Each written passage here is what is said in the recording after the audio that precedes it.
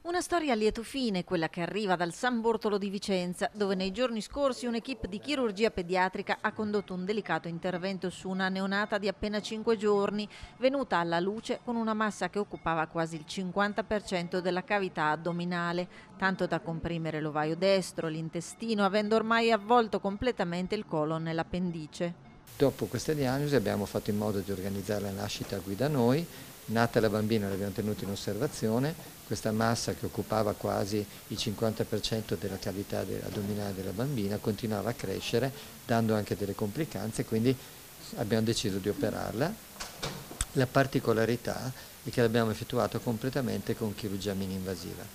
Il nostro centro è un centro molto riconosciuto per questo tipo di chirurgia e particolarmente nei neonati, perché non tutti i centri operano i neonati in questo modo. Procedura chirurgica condotta con le più avanzate tecniche di chirurgia mininvasiva, attuata praticando tre microincisioni, che ha permesso anche un rapido recupero della piccola paziente, dimessa dopo soli due giorni. Già dopo poche ore era completamente sveglia, voleva mangiare, abbiamo dovuto precauzionalmente, visto che aveva toccato l'intestino, tenerla qualche ora a digiuno, ma poi la bambina, sa benissimo, se la vede adesso, è cioè, bambina che non ha avuto niente, insomma. questa per noi è una grande soddisfazione. Centro di riferimento regionale per la chirurgia e urologia mininvasiva pediatrica, in cui ogni anno vengono eseguiti dalla chirurgia pediatrica 1400 interventi, di cui 500 con metodica mininvasiva. Attira pazienti non solo da fuori regione ma anche dall'estero.